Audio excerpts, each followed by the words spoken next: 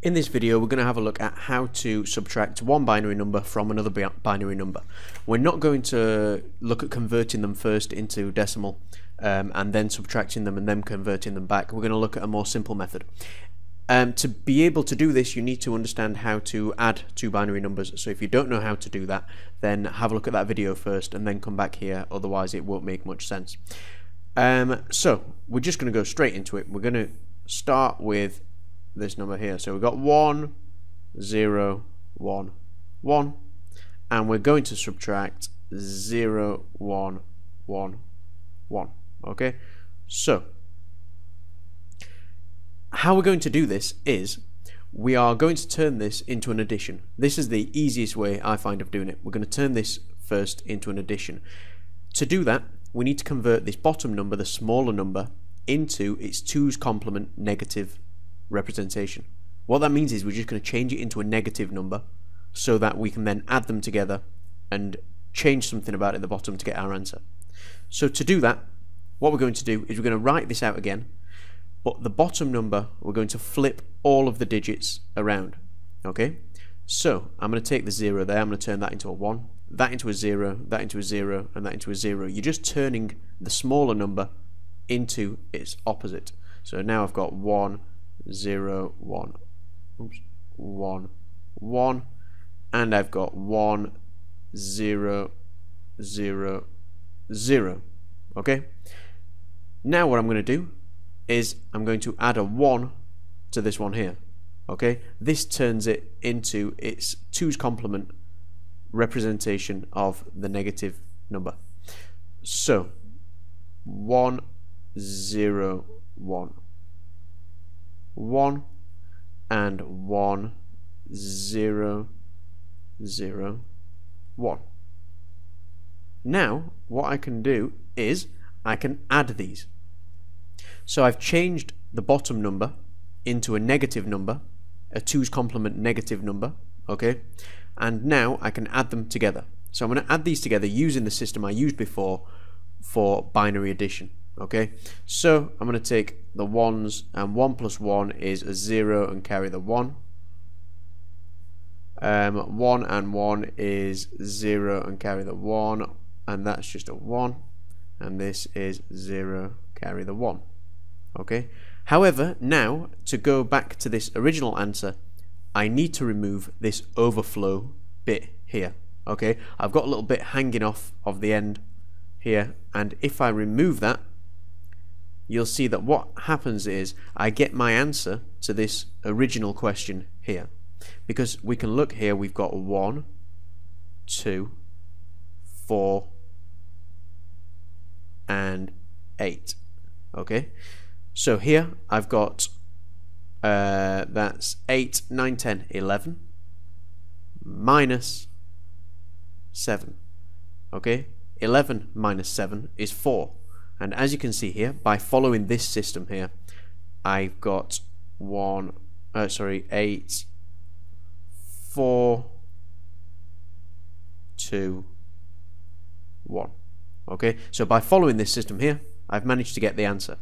Okay, let's go through another example, a slightly more complicated example, to make sure that these steps work.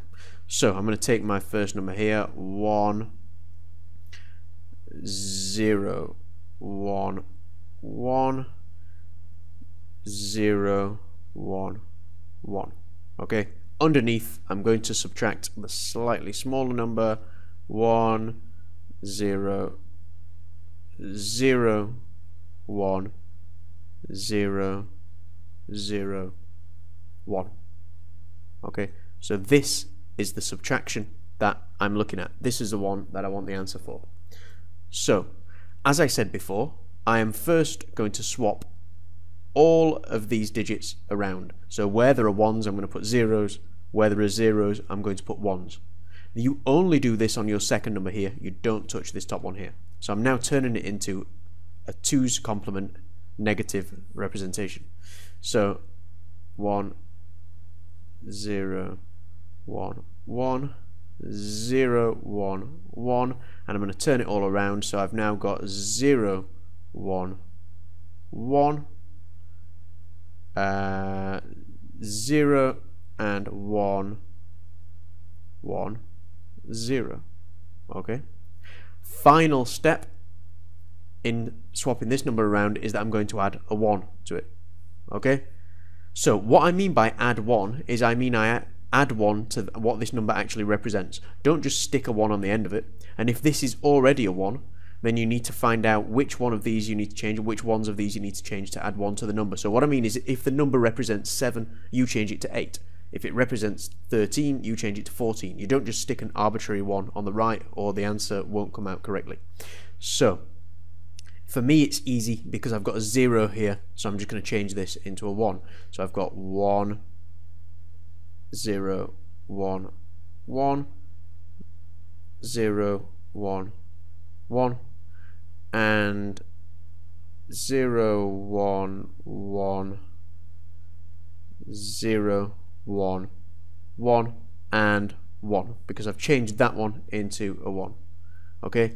Now I've changed this into an addition okay so that's three steps there to change this number over so that you can make it an addition and now I'm just going to use my regular um, addition rules that 1 and 1 is 0 carry the 1 1, 1, 1 is 1, carry the 1.